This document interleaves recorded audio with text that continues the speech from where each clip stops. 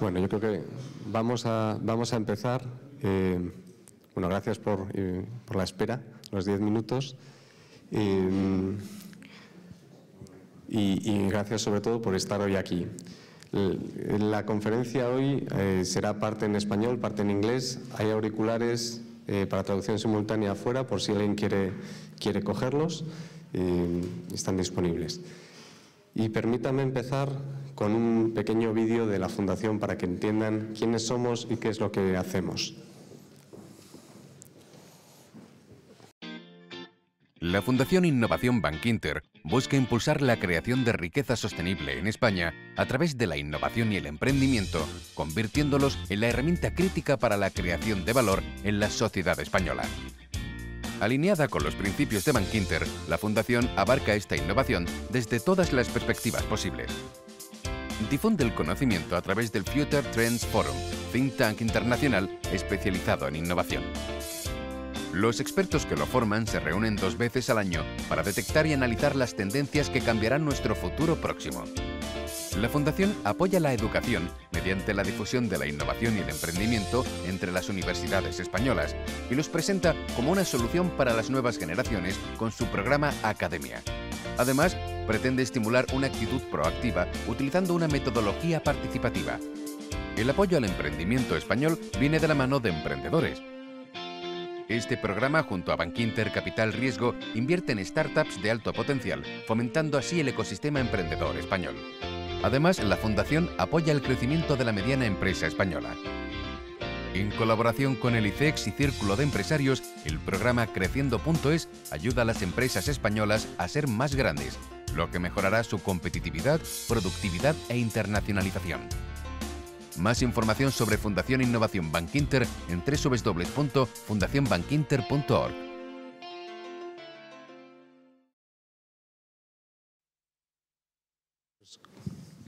Como ven, una fundación diferente, eh, centrada en, la promoción de, la creación de riqueza sostenible en España a través de la innovación, el emprendimiento y también la competitividad.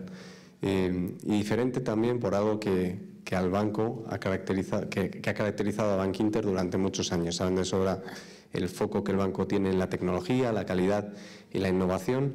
Y esa innovación decidimos trasladarla a la sociedad a través de la Fundación desde 2003. Y no sé si está la presentación. Bueno, creo que me lo sé. Bueno, la, fundación, como decía, nació en 2003 con el programa del Future Transform, del cual hoy queremos compartir parte de la esencia con, todos ustedes eh, y donde el objetivo es rodearnos del mejor talento en todas partes del mundo y ser capaces de, con ellos, identificar aquellas tendencias que cambiarán nuestro futuro y ser capaces también de ver qué oportunidades y qué amenazas hay para España en concreto sobre esa gran tendencia. Con Academia lo que hacemos es trasladar eso que aprendemos con el, en el Future Transform a la comunidad universitaria. 11 universidades en España, donde trabajamos eh, codo a codo para llevar a los alumnos no solo un material diferente, sino también una forma diferente de hacerlo. Emprendedores, igual que mucha gente en España, apoyamos el emprendimiento, pero lo hacemos invirtiendo hay muchas iniciativas de apoyo al emprendimiento en España, pero inversores no hay tantos. Nosotros llevamos ya 25 startups apoyadas, 26, ayer formalizamos la número 26, eh, lo cual nos convierte en los últimos años en uno de los actores más activos. Y Creciendo, que es un programa que hacemos, como decía el vídeo, junto con el ICEX y con el Círculo de Empresarios, donde el objetivo es apoyar a la, empresa que factura entre 50 y 300 millones, que en España es una empresa muy buena, pero escasa. Así que apoyamos a 100 empresas a lo largo de, cinco años y sobre todo generamos material, contenido para las otras 3.000 empresas que están en esos rangos de facturación. Algo que caracteriza a la Fundación, y desde el fondo imagino que no se leerá, pero algo que caracteriza a la Fundación es que nos tratamos de rodear en todos los aspectos que podemos del mejor talento del mundo. Y un ejemplo eh, de ello es nuestro propio patronato, donde nos rodeamos de gente como Chris Meyer, eh, que, ahora presentaré a continuación, o, bueno, o presidentes de dos presidentes de universidades americanas, ex de Vodafone Alemania, CEO o presidente no ejecutivo de WPP, emprendedores, legisladores, todo tipo de perfiles. Y todos tienen una cosa en común y es que colaboran con nosotros pro bono. Nos dedican una muy buena parte de su tiempo para, porque creen en lo que hacemos y creen en la necesidad de hacer esto en España. Es un patronato distinto también, porque la mayor parte de los patronatos de las fundaciones corporativas son todos directivos y exdirectivos de la casa matriz y aquí solo un tercio de ellos eh, vienen del banco. Como decía, el Future Transform tiene como objetivo rodearnos del mejor talento. Me gusta mucho una frase, la, mejor, persona más inteligente siempre trabaja para otro. Bueno, pues lo que tratamos de hacer es identificarlos. Han participado ya con nosotros a lo largo de todos estos años más de 470 expertos, desde científicos muy conocidos, algún premio Nobel, varios premios Príncipe de Asturias, directivos de las empresas más grandes del mundo y de las más pequeñas, legisladores, académicos, y a todos ellos les pedimos que nos digan en torno a qué tendencia se va a generar riqueza. Una vez que tenemos la tendencia eh, identificada y votada por ellos, nuestro trabajo es traer a 30 de los mejores expertos en torno a ese tema desde un punto de vista multidisciplinar. Y los juntamos en Madrid durante dos días con dinámicas diferentes a las que están acostumbrados. En lugar de hacer muchas charlas, hacemos mucha interacción hasta que conseguimos sacar algo distinto a lo que la mayor parte de la gente eh, hace. Pero el objetivo de la Fundación es al final que eso acabe llegando a la sociedad. Por eso todo lo que aprendemos con ellos se refleja en publicaciones o, lo llevamos a publicaciones en español e inglés, eh, por supuesto mucho material audiovisual y conferencias. La conferencia de hoy, de hecho, es una de esas conferencias. Pero una conferencia especial porque pasado mañana, el jueves y el viernes, hablaremos de, salud digital. Y lo que hemos pedido es a dos de los expertos que participan en el foro, eh, a final de la semana, compartan con nosotros sus inquietudes y su visión de hacia dónde vamos en este mundo de la salud digital. Como siempre hacemos en este tipo de conferencias, queremos combinar el conocimiento de los expertos con, lo que está ocurriendo también en España. Y hemos pedido también a dos emprendedores, dos startups eh, muy buenas ambas, españolas, que compartan también su experiencia con, todos ustedes. Algo que caracteriza a los eventos de la Fundación es que tratamos que sean lo más dinámicos posibles. Así que les pido que desde ya, desde que empiecen a escuchar a los expertos, eh, piensen en preguntas o en qué cosas les gustaría debatir con ellos, porque al final tendremos espacio para ese debate.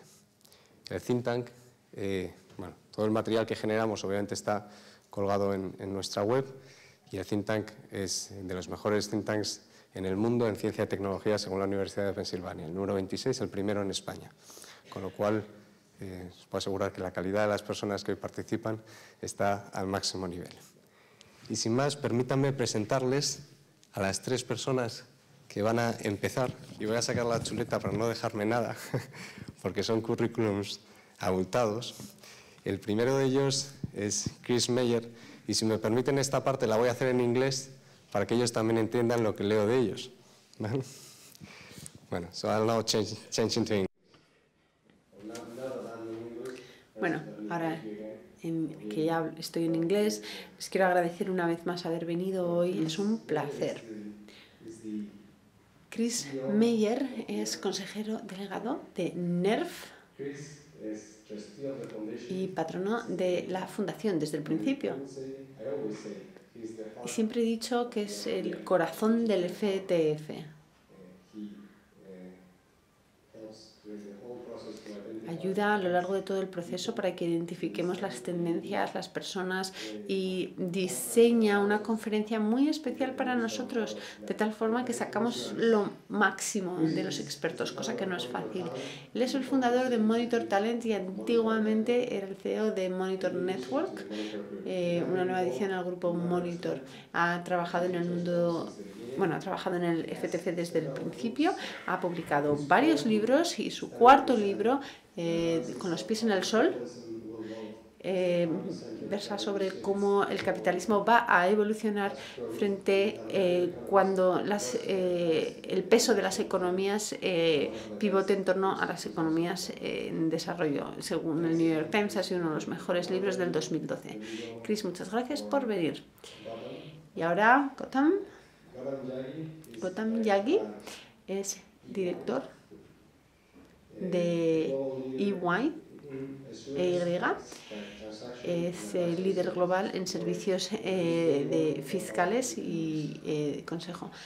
Lleva más de 20 años trabajando allí. Sobre todo ha estado centrado en liderazgo de pensamiento, en innovación disruptiva y al mismo tiempo es eh, lidera en eh, el ámbito laboral, eh, economía conductual y en análisis estadístico. Empezó como asociado de analista en el Instituto Pearson para, en economía internacional y a lo largo de su carrera ha han recabado muchísimo conocimiento sobre el mundo de la salud y otros sectores también. Muchísimas gracias, Jack Gotham.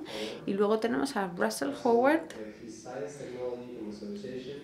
que es científico en eh, comercialización, tecnología de la comercialización y consejero delegado de PotBio Inc. Es un eh, consejero delegado con mucha experiencia que eh, ha liderado con éxito distintas empresas públicas y privadas y ha publicado eh, más de 150 eh, revistas especializadas y es miembro de distintas fundaciones y consejos en Estados Unidos y en el resto del mundo. Hoy Russell trabaja en Sydney con Newcon para eh, sacar genoma y anticuerpos para el mundo que sean eh, asequibles. Se está comercializando un nuevo genoma para ofrecer servicios basados en la medicina personalizada. Muchas gracias a los tres por haber venido. Esta primera parte de la conferencia, como digo, se va a hacer con estos tres señores y luego tendremos un ratito de interacción y por último tendremos a las dos startups que presentaré después. ¿Vale? Muchas gracias. Chris.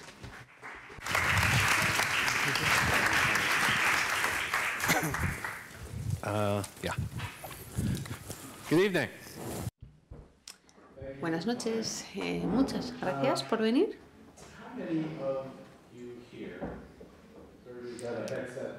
¿Todos eh, los que necesitan los cascos los tienen? Bueno, no lo puedo preguntar en español, dice el ponente, que es lo que tendría sentido.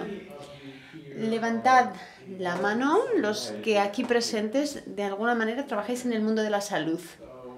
Levantad la mano. Más de la mitad, un poquito más de la mitad. Bien. ¿Cuántos creéis que la industria del sector sanitario es único en su especie? Vale, pues la mitad de los que estáis en el mundo de la salud. Bueno, pues normalmente si le preguntas a, a, a la gente si piensas que vives en, una, un mundo único, en un sector único en su especie, todos levantan la mano, porque la regulación, las leyes siempre hacen que una industria sea especial, porque la industria se tiene que adaptar a, la, a las leyes, a las normas del juego. Quiero hablar de en qué aspectos la industria, el sector de la salud se parece a todos los demás. Yo creo que estamos en una época en el cual en una, en una época en la cual todos los sectores están, eh, son intensivos en datos. La dataficación lo llamo yo. En la década de, desde 1920 hasta 1950, las economías avanzadas fueron electrificando, ¿no? La electricidad pasó a estar disponible en cualquier lugar para cualquier eh, actividad económica y al final incluso también en los hogares.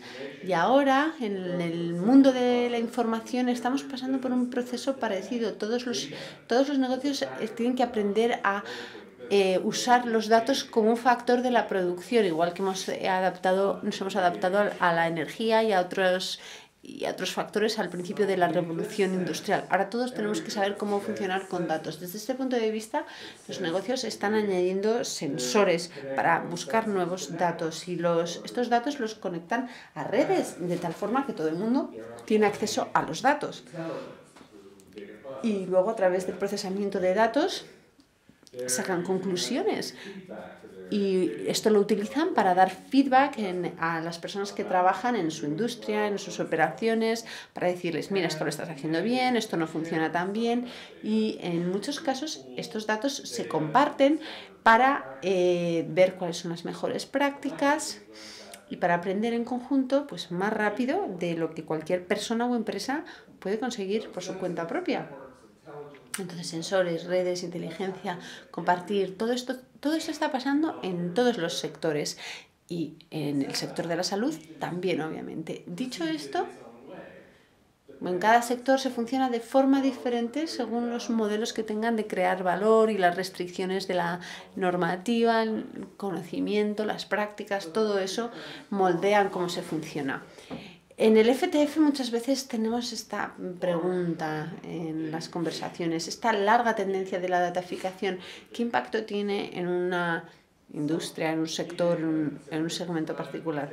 Lo que ha dicho el evento que ha descrito Sergio que vamos a hacer esta semana está centrado en la salud digital y esto que veis aquí es la arquitectura de la reunión, porque la salud digital, bueno, es un cajón desastre como término. Por eso hemos entrevistado a distintos expertos para saber qué significaba. Y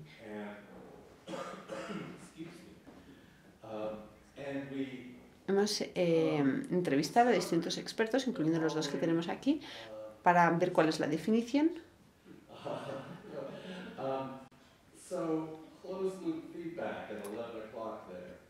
Y ahí tenemos pues el feedback de, eh, encerrado, Big Data, em, aprendizaje automático, eh, desarrollo de modelos de negocios, nuevas formas de monetizar los eh, datos, salud pública, MR, que son los em, historiales de los pacientes electrónicos y eh, los cambios conductuales, feedback, cómo podemos cambiar los comportamientos de la gente. En los próximos días la reunión va a estar estructurada para aunar todas estas perspectivas y el objetivo es llegar a un plan para que los beneficios de la salud digital lleguen antes de lo que pasaría de lo contrario. Esta noche no podemos dar la vuelta completa a este círculo, pero sí que os vamos a dar dos cápsulas muy centradas. Gotham eh, trabaja para Ernst Young y es el director mundial en salud. Lleva en este puesto más de 10 años. Y Gotham va a hablar de cuál es el status quo hoy, la dirección, los vectores que nos están ayudando a progresar.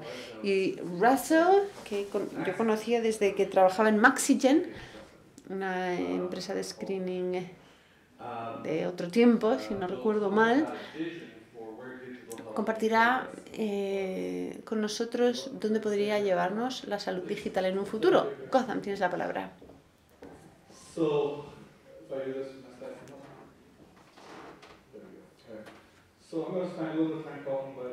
Vale, como ha dicho Chris, voy a hablar de qué nos espera en el horizonte. Vamos a hablar de lo que hemos visto hasta ahora en los últimos 5 o 10 años. Hemos visto pues, que el mundo de la salud se, está siendo eh, muy disruptivo durante 10 años. Bueno, que viene cuando he visto que no había tanta gente que levantaba la mano cuando hemos dicho ha preguntado si la salud es muy especial. Porque hablando con la gente muchas veces la gente nos ha dicho eso. Somos distintos el mundo de la salud es tan distinto esto ha pasado en otras industrias pero no va a pasar aquí o no va a pasar al mismo ritmo. Y la realidad es que ya vemos que esto no es así que tenemos que repensar la salud. Y sí que estamos llegando a esto de la salud 2.0 hay muchos cambios que estamos viviendo pero si lo simplificamos podemos ver dos tendencias por detrás de todos estos cambios en la superficie. El primero, el coste. El coste de la salud está en una trayectoria insostenible y esto lo vemos en todo el mundo. Eh, ya se ya se gastan ya supone el 10% del PIB mundial el gasto de salud y el ritmo al que crece es más alto que el ritmo al que crece el PIB, por tanto no es sostenible y nos lleva a bueno, nos aboca a muchas reformas.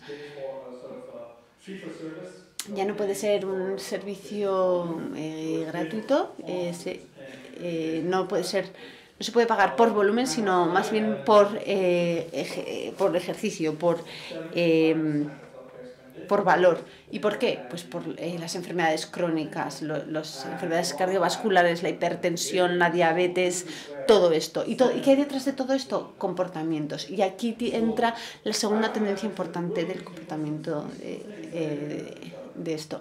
Estos dos bloques son independientes, no tenían que darse a la vez, pero la realidad es que se están dando a la, a la vez. Y esto es lo que hace que estemos en un momento muy especial de la evolución de la industria eh, de salud, porque con el primer bloque vemos que se, esa tendencia vemos que se crea el problema, la el segundo bloque es una tendencia que nos da la solución, porque gracias a Big Data podemos mejorar comportamientos, podemos eh, facilitar la prevención, podemos ayudar a los eh, pacientes para que se conviertan en consumidores. Estamos pasando de la salud 1.0 a la 2.0. Eso significa que la salud es algo que antes solo nos daban en hospitales, centros sanitarios y ahora cada vez más donde esté el paciente se puede eh, dar salud, servicios sanitarios gracias a la tecnología. Antes nos centrábamos en el tratamiento, te esperas hasta que alguien está enfermo y entonces le tratas, pero es que es mucho más barato, sobre todo con enfermedades crónicas, evitar que una persona tenga una enfermedad crónica. Por eso tenemos que gestionar las y prevenir las enfermedades crónicas, que es mucho más efectivo en costes. Entonces, la salud era para las empresas de salud, pero ahora ya no se ve eso tanto y muchos aquí en la sala. Bueno, he visto varias personas que no alzaban la mano cuando preguntaba eh, si trabajan en el mundo de la salud. Entonces hay mm, empresas tecnológicas y muchas otras que están entrando a trabajar en el mundo de la salud. Y luego, como ha mencionado Chris, necesitamos modelos de negocio nuevos. Los de ahora no van a ser relevantes eh, y estamos viendo mucha experimentación. Es una diapositiva muy densa, pero estamos familiarizados con todo esto eh, por separado. Son cosas que están pasando, las hemos visto. ¿Y ahora de qué voy a hablar? Bueno, ¿qué nos espera? pues cuatro cosas. Solo quiero introducir un par de conceptos para haceros pensar. No es una lista extensiva, pasan otras cosas, pero bueno, para que os vayáis haciendo una idea de lo que nos espera en los próximos años. A ver, eh, los cuidados sanitarios, ¿cómo los conocemos a día de hoy? Los cuidados sanitarios hoy y durante toda la vida, pues han sido ver los síntomas de los pacientes que le llegan y con estos pacientes eh, tienes que hacer esta prueba. Si los resultados de esta prueba están dentro de este rango, haces esto. Si están en este otro rango, haces esta otra cosa. Y luego recomiendas pues un medicamento u otro, cirugía o no. Entonces, los cuidados sanitarios consisten en eh, seguir ese protocolo, todas esas condiciones. Y cuando hablamos del mundo digital y de la salud digital, la gente dice, bueno, si es if then no sé cuántos, si entonces tal, eso se llama algoritmo.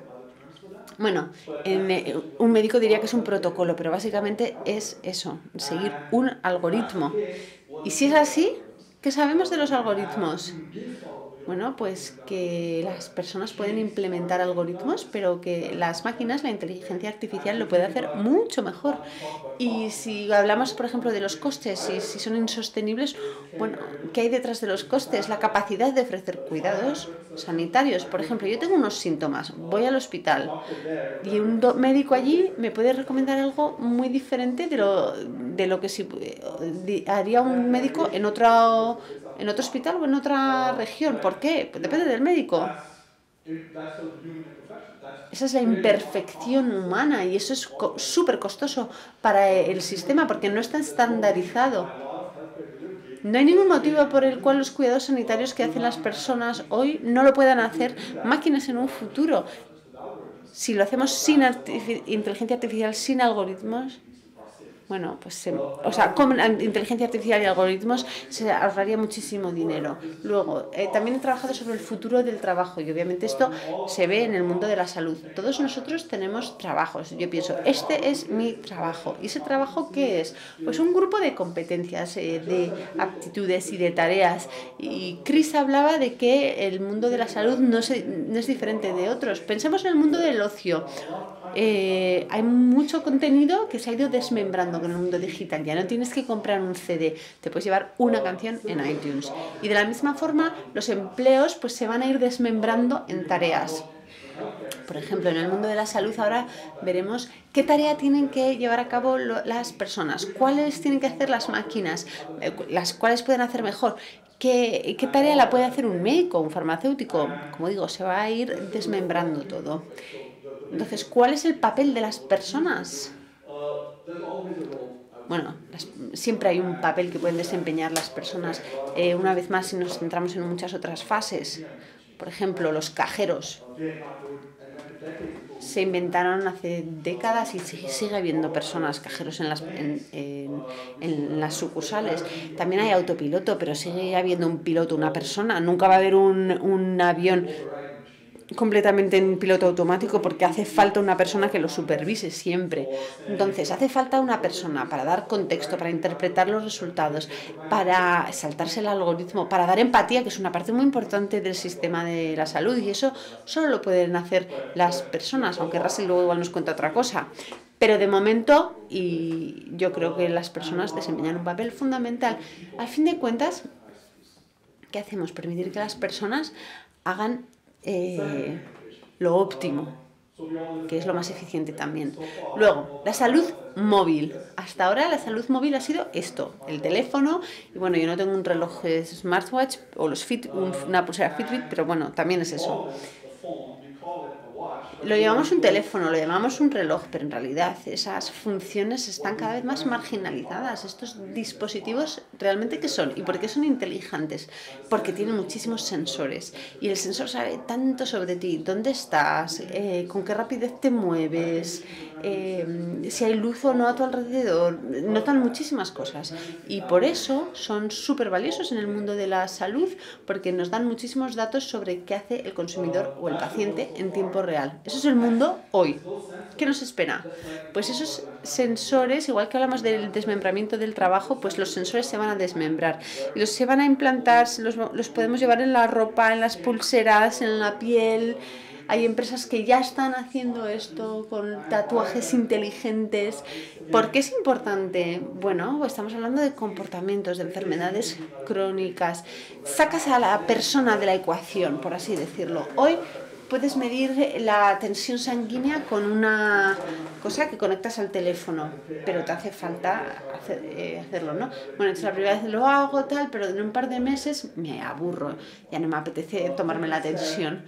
En cambio, pensad, un sensor que puede estar en vuestro flujo sanguíneo, que está midiendo la presión 24 horas al día, todos los días del año, y que ve, y no lo mide un par de veces al día, sino que exactamente sabe dónde están los picos. Imaginaros que esto lo podemos cuadrar con todos los datos y tenemos el contexto. No, y entonces no solo la presión eh, sanguínea, sino saber que me subía la tensión cuando subía las escaleras hay que preocuparse, pero bueno, podemos obtener muchos datos valiosos y ahí sacamos la debilidad humana de la ecuación. Hemos hablado de Big Data y de analítica, de la digitalización y la dataficación, mejor dicho, como ha dicho Chris, y lo vemos en el mundo de la salud. ¿Cómo se está implementando? Bueno, pues hay muchos datos del mundo de la salud. Hemos entrado en el mundo de Big Data y la salud gracias a ello, bueno, hemos dado un salto adelante gigante eh, y nos hemos puesto a nivel del resto de sectores.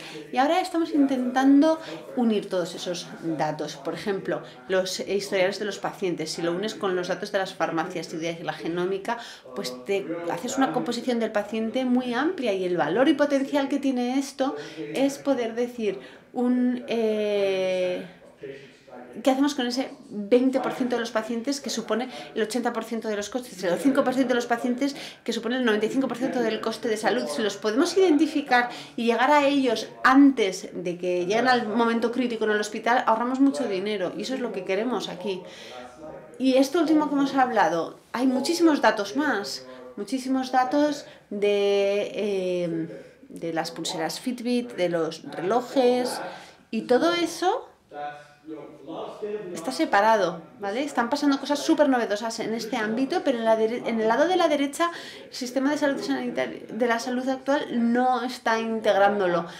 Y el siguiente salto potencial va a ser este, cuando se una todo y tengamos el contexto de la vida real, intervenir y prevenir que no pasen cosas en tiempo real y conseguir eh, influenciar en el comportamiento de la gente en, tiempo real. Todo esto solo lo hacemos con datos en tiempo real y esto pues cambia la, cambia la partida completamente. Por último, vivimos en la economía compartida me he quedado en un Airbnb, he llegado unos días antes y iba por la ciudad en Uber, que creo que antes no estaba, pero ahora sí ya, ya se funciona en Madrid, pues es la economía compartida, ¿no? Y lo vemos en nuestro, nuestra vida diaria. Y creo que se puede aplicar perfectamente al mundo de la salud. Pensad en qué hacen las empresas eh, de compartir.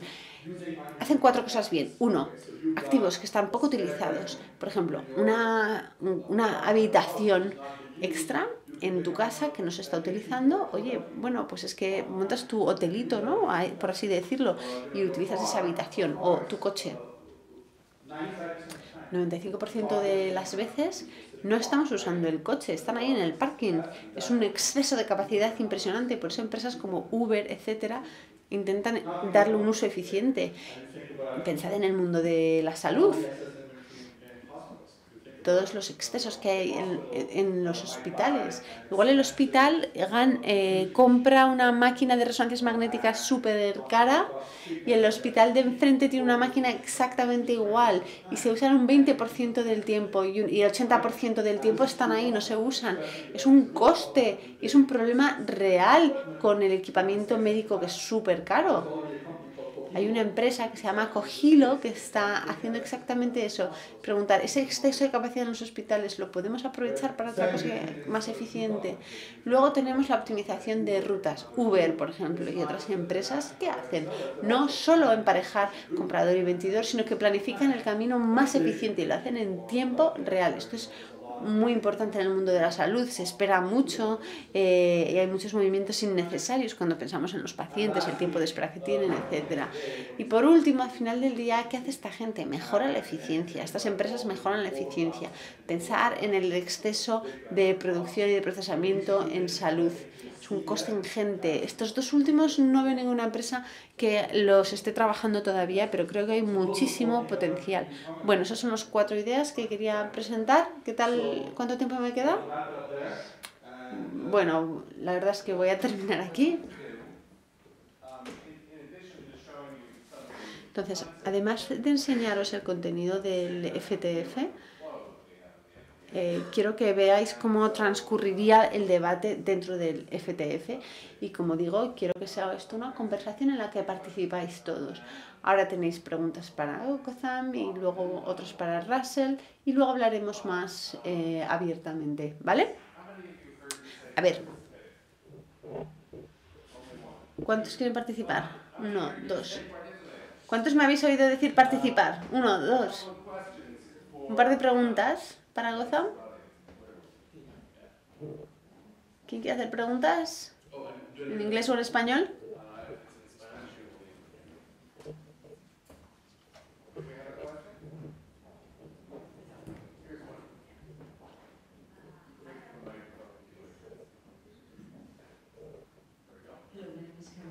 Hola, me llamo Carolina vengo del clúster para el entorno de pacientes. Es una iniciativa nueva de aquí, del Impact Hub en Madrid. Mi pregunta es la siguiente. A mí me da la sensación de que las tecnologías del mundo de la salud van súper rápido. ¿Y qué pasa con la adopción de la tecnología? A mí me da la sensación que va súper despacio. ¿Y qué podemos hacer para cambiar esto? Tienes toda la razón, toda la razón. La última diapositiva cubría un poco eso, ¿no? Pues hay muchas cosas que siguen en el ámbito de los, de los usuarios, los consumidores, la gente la va adoptando.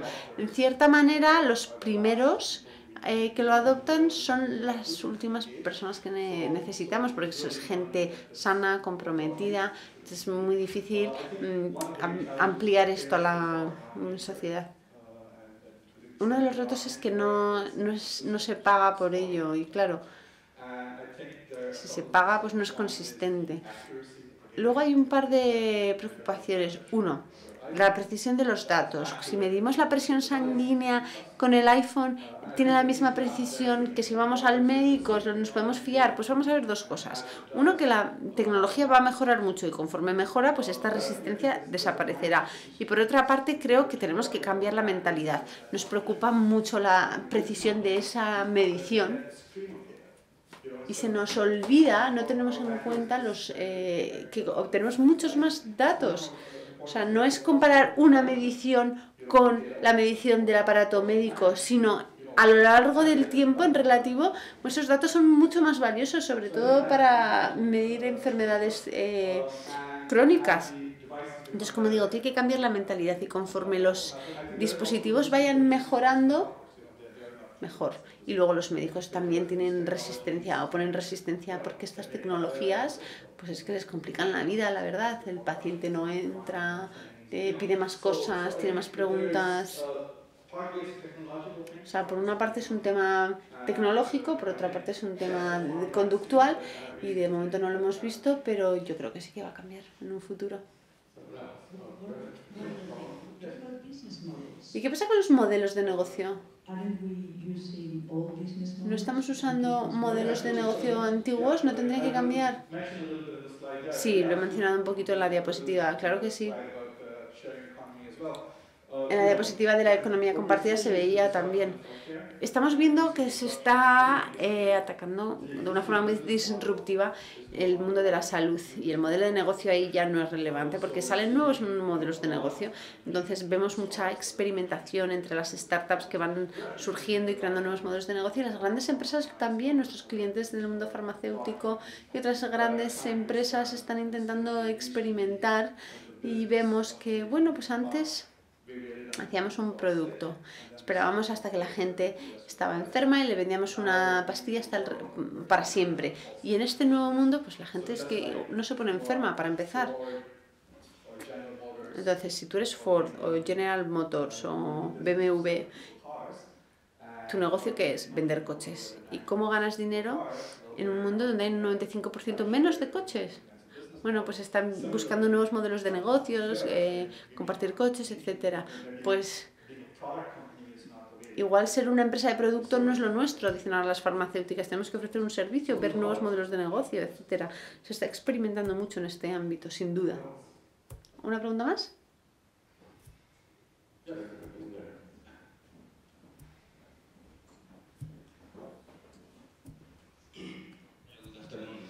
Buenas tardes, enhorabuena por la presentación.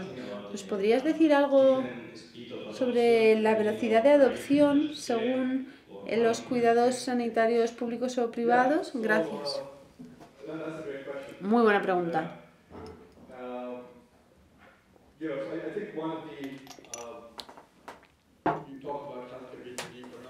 Bueno, hemos hablado de si el mundo de la salud es único o no, especial o no uno de los retos en el mundo de la salud es que hay que vivir con el legado que tenemos. Varía mucho de un país a otro el sistema de salud. Son súper complejos además, muchas veces. Y con cualquier cambio hay gente que sale ganando y gente que sale perdiendo. Y los que salen perdiendo, obviamente, luchan en contra. O los que piensan que están saliendo perdiendo. Y en concreto sobre lo que decías de privado frente a público, creo que hay algo que es más interesante y es lo siguiente, los eh, mercados en los que se paga eh, por servicio en vez de por reembolso, ahí la adopción va a ser diferente de estas tecnologías porque cuando lo estás pagando tú, tienes un incentivo mayor de ser consumidor. Eh, ¿En qué sentido es única, eh, es especial en la salud? Si tienes que comprar una tele o un coche, lo tienes que hacer tú. Tú decides lo que compras, tú lo pagas y tú lo usas después. O sea, el hecho de que tomas la decisión, lo pagas y luego lo utilizas, no se da en el mundo de la salud, está separado. Entonces, según sea el sistema de salud, lo pueden hacer pues dos o tres instituciones diferentes. ¿El resultado cuál es? Pues que cualquier otra cosa que compras te convierte en consumidor. Tú buscas qué es lo mejor, vas, lo compras y miras a ver qué, cuáles serían las mejores eh, características. Pero en el mundo de la salud hemos sido siempre pasivos, esto no se hacía. ¿Qué, ¿Qué, estamos intentando hacer? Cambiar los incentivos. Y esto se ve ahora, la gente, eh, cuando la gente tiene que pagar dinero de su bolsillo.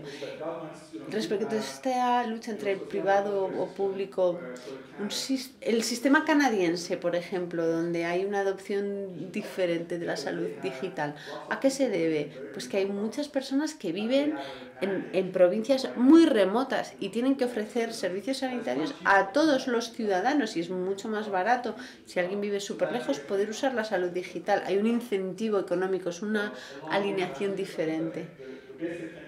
Es una respuesta un poco larga, pero bueno, lo básico es que hay mucha variedad entre un sistema y otro y cómo se alinean o desalinean los, incentivos, los incentivos con eh, decisiones que tienen sentido desde el punto de vista económico. Muchas gracias.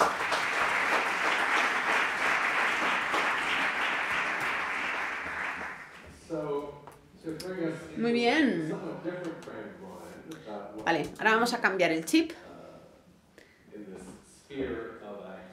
Eh, ¿Qué nos espera en este campo de, del trabajo? Él era biólogo molecular antes de ser consejero delegado de su empresa y eh, nos va a dar la perspectiva de a dónde podríamos llegar con este proceso de la datificación y la salud. Buenas noches.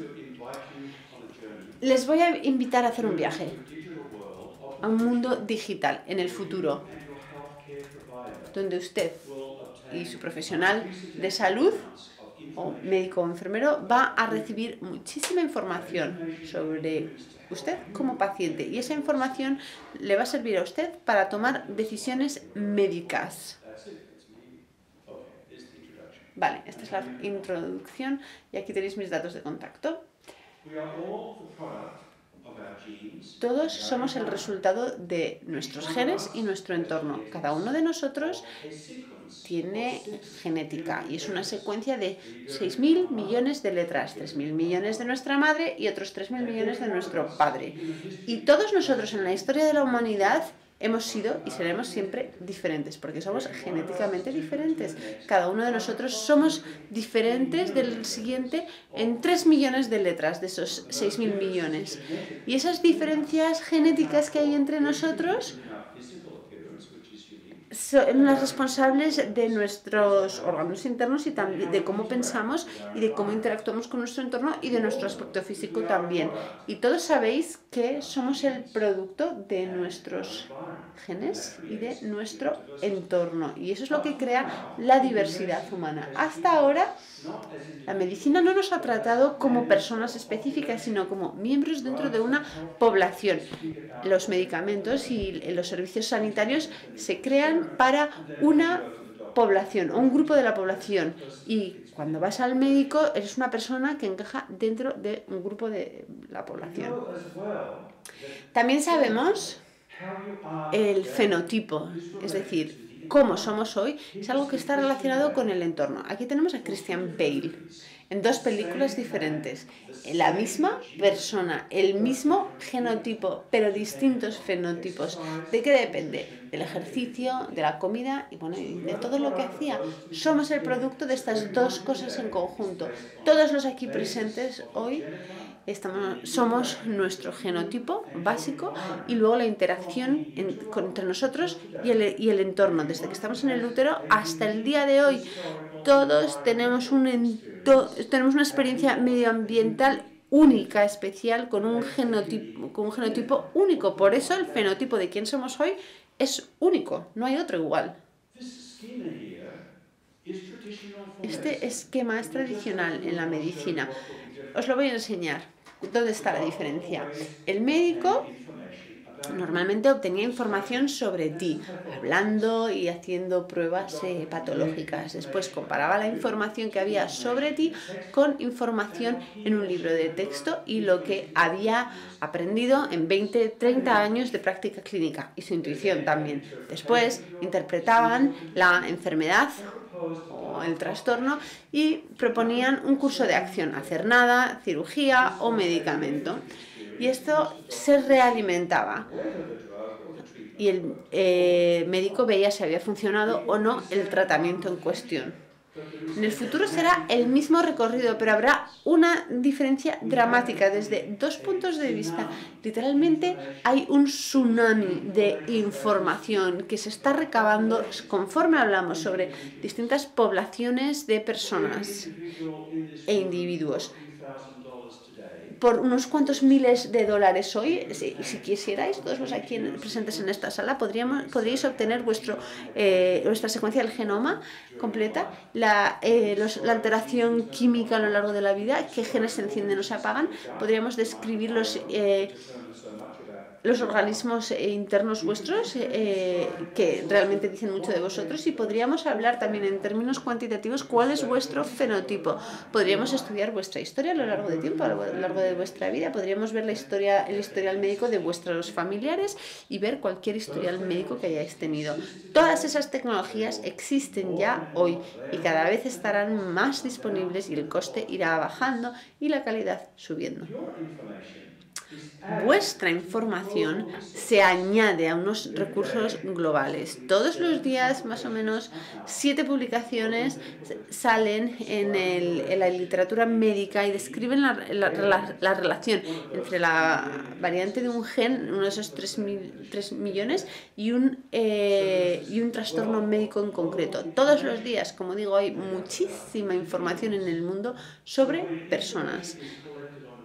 Cuando esta información se recaba sobre una persona, sobre ti en particular, entonces formas parte de una base de datos colectiva y esto ayuda a otras personas. Hay muchísima más información sobre poblaciones así y eres parte de una población. Esto ayuda a dar información a un profesional de salud y le dice qué información tuya cuadra con información de otras personas que han pasado por lo mismo antes. Y así ya podemos hablar del pronóstico de enfermedades futuras, tu bienestar eh, y saber mejor cuál es la, eh, la definición de enfermedad aguda, enfermedad crónica, qué riesgo personal tienes de cáncer, es alto, bajo, estás en la media, cuál es el riesgo que tienes de diabetes, mayor o menor que la media. Todas estas cosas las podemos definir para ti. Todas las acciones, por tanto, no serán solo clínicas, serán decisiones vitales. Quiero fumar, quiero beber alcohol, eh, quiero hacer ejercicio, ¿cuál? ¿Cómo? ¿Qué comida voy a tomar?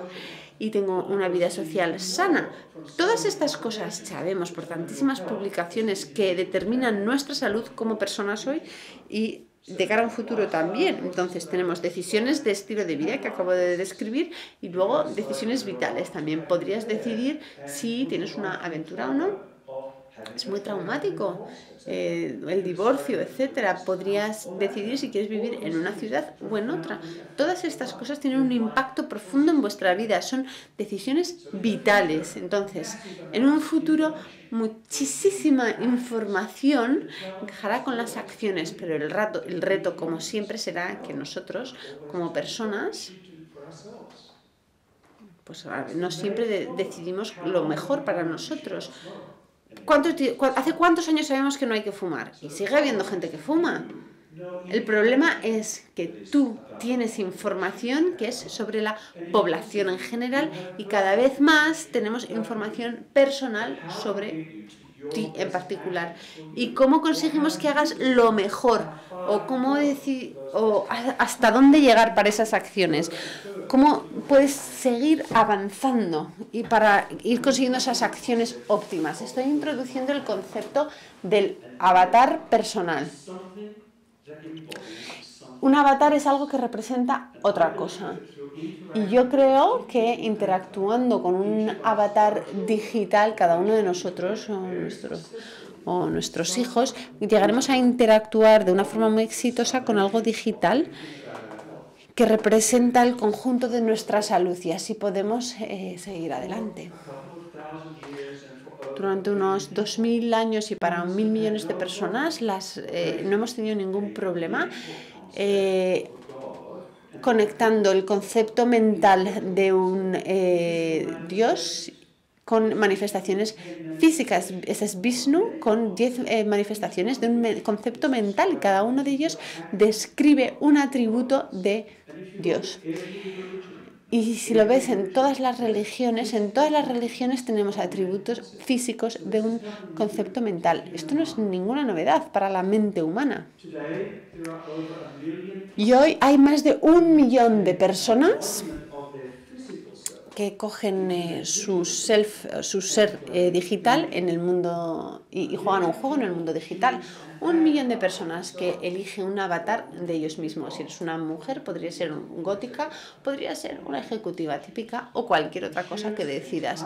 Eliges un tipo que encaja contigo. Entonces entras en el mundo digital e interactúas con otros avatares de otras personas que desconoces en un mundo de fantasía. Es un juego que está, al que juega la gente ahora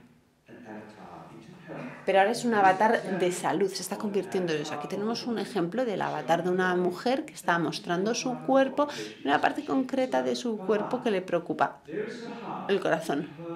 Ahí tenemos el corazón dentro de su cuerpo. Está en su móvil y se lo puede enseñar a cualquier médico o a su familia. Se lo puede enseñar a sí misma se identifica rápidamente con una imagen de sí misma cuando eh, la enfermedad la vemos reflejada en nosotros, no en un libro de texto ni en las palabras del médico. Es tuyo, está personalizado, es súper motivacional. Imagínate que se lo enseñas a alguien de tu familia que tiene una lo van a ver de una forma distinta no va a ser lo mismo que ah es que tengo fibrilación atrial con un avatar puedes proyectar qué te pasaría a ti en un futuro si, por ejemplo, sigues fumando. Aquí tenemos una chica joven, pasan varios años si no fuma y si fuma. Veis el cambio en la mandíbula, en eh, la tez y en los pulmones. Es obvio, es una medicina básica que conocemos, pero traducida en un formato digital que está súper personalizado y que esta mujer puede entender. Ella misma se dice así, quiero que mis pulmones tengan esta pinta o esta otra. Quiero que mi cara tenga esta pinta o esta otra. Parte ¿Por qué es este concepto tan potente? Pues porque somos incapaces de vernos en un futuro. Y es un término psicológico que se llama descuento temporal. Ninguno de nosotros nos podemos conectar con cómo vamos a ser en 10, 20, 30 años. Cuando tenemos 30 años y te bebes una botella de whisky todas las noches, es que no eres capaz de pensar eh, cómo va a ser mi hígado cuando tenga 50 o 60 años y cómo me voy a sentir y cómo voy a vivir con cirrosis. Todas las personas son así. Y ahora te puedes proyectar en un avatar y ver la pinta que tendrías si haces una cosa u otra u otra. Es una conexión emocional contigo misma muy fuerte.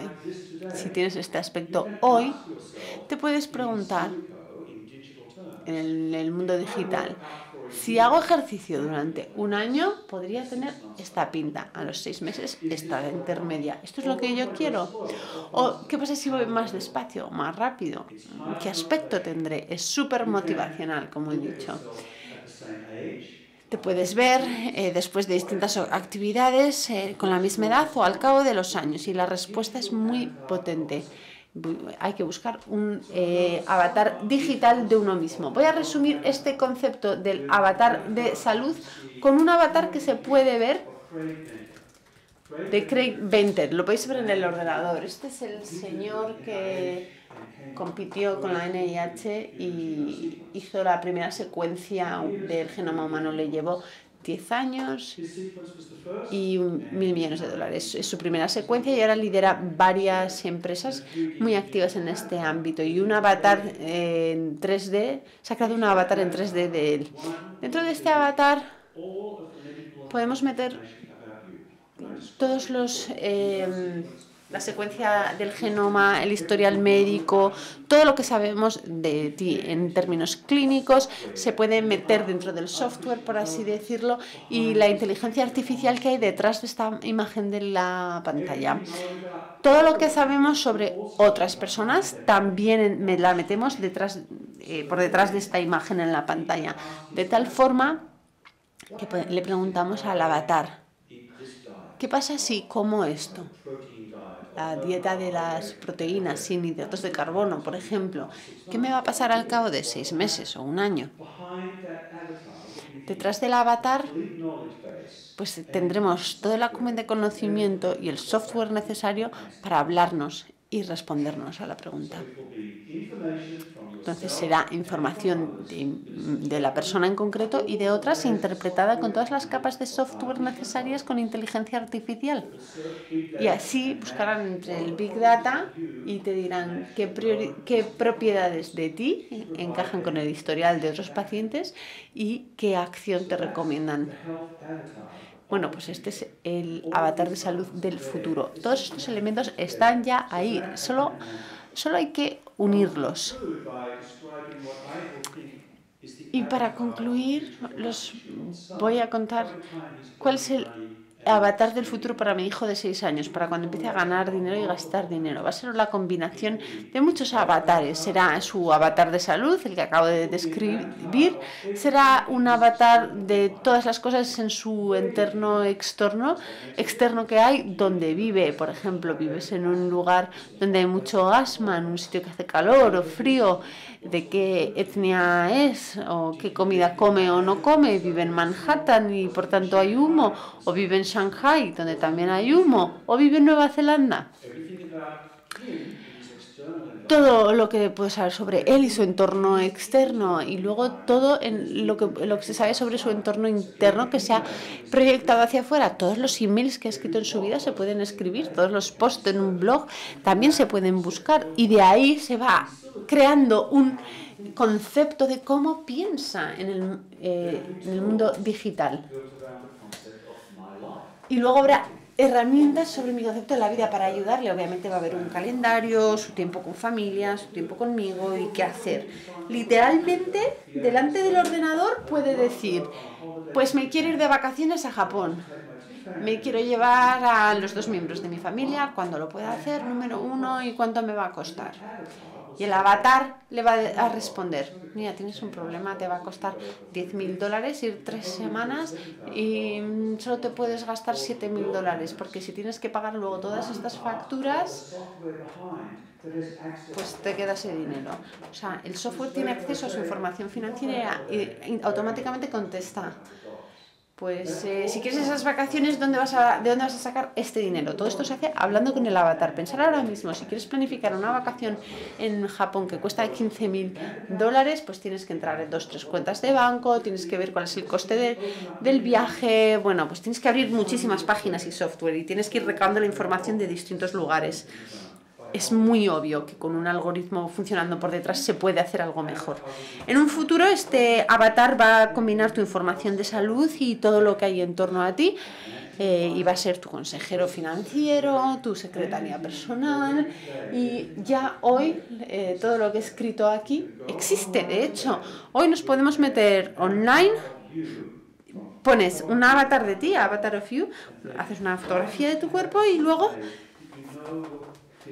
pides que te hagan un avatar que vaya a encajar completamente. Zapatos que sepas que te, eh, zapatos que sabes que te van a encajar a la perfección. Y, la, y te puedes probar ropa en el, en el avatar. Eso ya existe, de hecho, lo podéis buscar en internet. Si eso existe hoy, pues imaginaros todo lo que digo acabará existiendo y se acabará reuniendo en torno a un avatar. Hay muchísimos retos ante el futuro. Bueno, los podéis ir leyendo, no los voy a ir eh, diciendo, pero no hay ninguna revolución tecnológica que venga sin preocupaciones, límites, sobre todo en términos de privacidad y control de la información, pero todas estas cosas tienen solución. Sobre todo cómo cambia la cultura. Mirad lo que pone, lo que publica la gente en Facebook o en Twitter, cosas que hace 20 años es que no se nos hubiera ocurrido.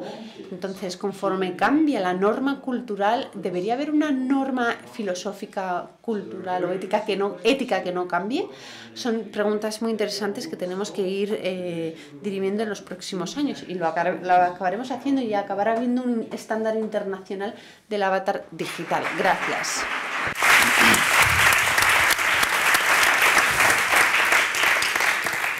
Just show of hands, how many of you... Levantar la mano los que queréis un avatar digital ahora. Oye, lo has vendido.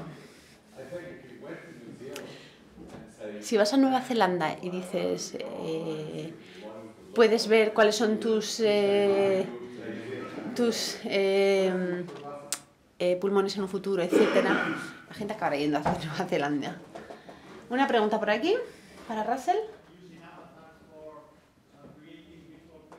No se oye sin micrófono, lo siento. Sí, los avatares se utilizan hoy para educación médica y para interacción entre médicos y pacientes. Ya ha habido un ejemplo, ¿no? Para lo he enseñado con la- lo de los pulmones. Por ejemplo, los límites a la hora de entrar en un ensayo clínico, los criterios a la hora de entrar en un ensayo clínico pueden ser tan específicos o amplios como quieras en un futuro. La eh, morfología del cuerpo, la secuencia del genoma, mm, podrían ser todos criterios de entrada para un ensayo clínico. Obviamente, si el ensayo es eh, demasiado estricto, pues no se podría aceptar a una persona, por eso se va a cambian- ir cambiando cómo se define la cohorte con muchos más datos analíticos. ¿Le he contestado?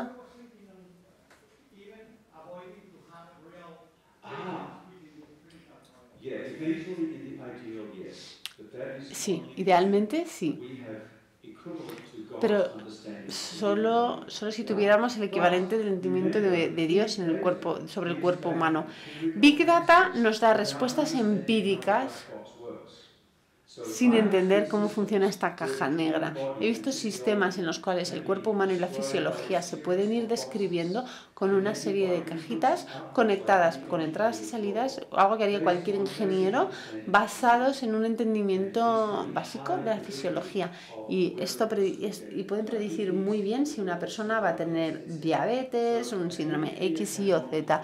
Un ingeniero puede modelizar el cuerpo humano. Y, al final yo creo que va a ser eh, un descubrimiento de datos empírico con, basado en los datos, no en entender el mecanismo. Entender estas reducciones lleva mucho tiempo y la eh, biología molecular, etcétera, llevan mucho tiempo, pero ocurrirán y serán necesarios. Y cuando ocurran después de los eh, hallazgos eh, eh, científicos tendremos más información y veremos nuevas correlaciones maravillosas, que no serán pruebas, sino correlaciones entre características fenotípicas, salud y enfermedad. Y todo eso será muy útil en el mundo de la medicina. Me ha encantado la charla, tengo que decir. Me ha sorprendido cuando has hablado del genotipo y el fenotipo eh, eh, y el entorno. Ahora se escribe mucho sobre estar determinados o no, que tenemos más ADN que no es nuestro, el que sí.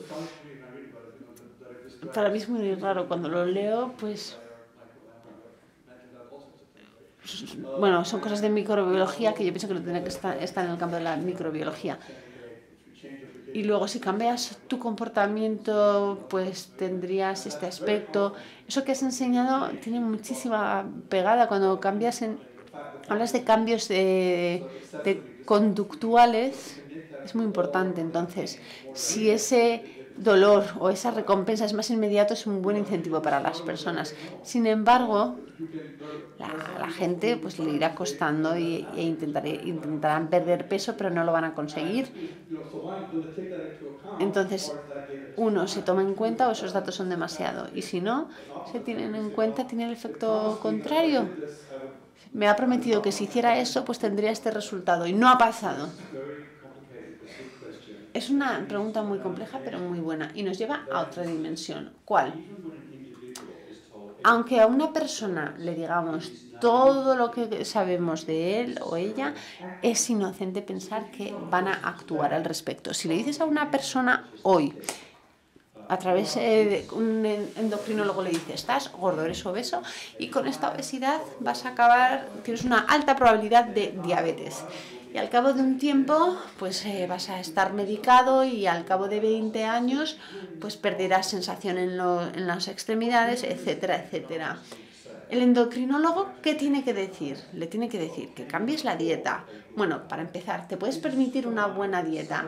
¿Hay un supermercado que venda esta comida cerca de tu trabajo, cerca de casa? ¿Puedes comer esa comida especial dentro de una familia y todo el mundo hace come su comida normal? ¿O tienes la mm, capacidad dentro de la familia de eh, cocinar algo diferente para ti, no para el resto. Y, ah, bueno, quiero ir al gimnasio y quiero ir tres días a la semana durante media hora al día. ¿Te lo puedes permitir? ¿Lo tienes cerca de casa? Son preguntas muy importantes. Entonces, que el médico le diga a una persona, tienes que hacer esto y lo otro y lo demás allá, sin saber las, el contexto social, financiero, geográfico de la persona, bueno, pues es que es lanzar una moneda al aire. Entonces, ¿Cómo podemos conseguir que el sistema sanitario tenga un mejor servicio? Pues está relacionado con este avatar, porque el, avatar a fin de cuentas incluye el concepto de vivo aquí. Por ejemplo, y si tú vives en Los Ángeles, a tres millas igual no hay ni una sola tienda donde se venda verdura fresca. Entonces, ¿qué sentido tienda tiene que le digas a una persona, oye, te tienes que poner a dieta y vas a tomar verduras tres veces al día? Pues, eh, el concepto de la geografía, de la familia, de la sociedad y, el poder adquisitivo son muy importantes a la hora de evaluar la interacción entre un médico y, y el paciente. Todo esto tiene que calibrarse de tal forma bueno, que el médico no es solo un clínico, es un eh, psicólogo, es un eh, trabajador social que entiende la comunidad, alguien que entiende los temas financieros, es un nutricionista y luego también eh, una persona que entiende la estructura, porque oye, si una persona está gorda no le puedes decir, tienes que correr 10 millas. Hay un concepto mucho más profundo que captura el avatar. Bueno, vamos a hacer esto. Primero quiero decir que cada uno de vosotros ha dicho algo fundamental sobre el tipo de información que se está desarrollando. Godam, tú has hablado de las dos tendencias y luego has, hecho la, has marcado la línea. Si el teléfono te dice dónde estás, cuál es tu presión sanguínea, y has visto, bueno, que cuando vas a ver a un amigo X te sube la presión. Bueno, igual ya no es tu amigo, ¿no? Entonces, si te sube la tensión cada vez que vas a verle. Y Russell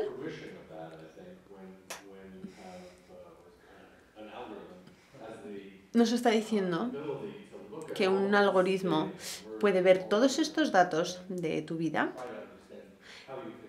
y te puede ayudar a entender cómo adoptas, adaptas tu comportamiento a lo que necesitas. Yo veo muchísimas oportunidades eh, y ahora nos van a hablar dos personas de aquí, de España, que tienen modelos eh, de negocios, startups, que están intentando aprovechar algunas de estas oportunidades. ¿Os podéis sentar aquí, por favor? Sergio les va a presentar. Y luego vamos a tener un ratito para hablar los cuatro. Sergio. Tenemos dos startups. La primera Alto Data Analytics. José Miguel Casado es la persona que va a venir a hablar, que es el jefe de Global Accounts y Consultoría y es socio dentro de la empresa. Y todo el mundo está hablando de Big Data ahora, pues bueno, esta es una de las empresas que es muy activa y que está haciendo, consiguiendo cosas con los datos. De hecho, les hemos pedido para preparar el FTF que nos ayuden a entender qué está pasando en el mundo sanitario, por, bueno, por todo, en el sistema sanitario de todo el mundo, para entender quiénes son eh, los players clave, qué dicen y qué están haciendo. Bueno, pues vamos a hablar un poquito de eso. Llevan el mundillo muchos años, antes de Alto Data Analytics trabajaba en Lucent y antes de eso en IBM. Eh, es ingeniero de telecomunicaciones, eh, tiene un MBA del Instituto de Empresa y más cosas. Muchas gracias. Y antes voy a presentar a Tomás, que es el, representa la segunda startup de hoy. Tomás García Gómez es consejero delegado y director gerente de People Who Global. Es una startup que trabaja en el mundo de la salud, no solo en España, sino también en Francia, Reino Unido, Alemania e Italia, desde el 2014. ¿qué hacen? Pues hablan con pacientes para bueno, hablar de muchas enfermedades diferentes desde una perspectiva diferente, diferente de lo que hacen otros en, el, en este ámbito. Gracias.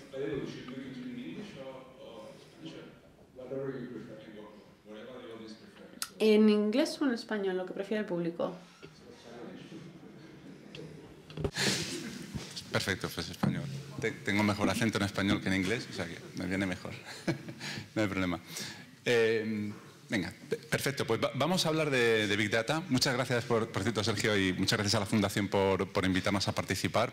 Porque además, parte de lo que vamos a ver, eh, de lo que hacemos con Big Data, con Big Data es algo de lo que hemos hecho como para vosotros en, en Digital Health, eh, analizando Digital Health. Realmente lo que, lo que, vamos a contar, porque bueno, tenemos 10 minutos, no quiero extenderme mucho porque seguro que ya es tarde y, tenemos hambre, y vamos a hablar de tres cosas muy rapidito y luego un ejemplo de cómo estamos aplicando el análisis de datos para entender ciertas cosas, porque realmente vamos a ver quiénes somos nosotros, algo de Big Data Analytics y, bueno, qué, utilidades se puede hacer y en el ejemplo concreto que hemos hecho con la Fundación.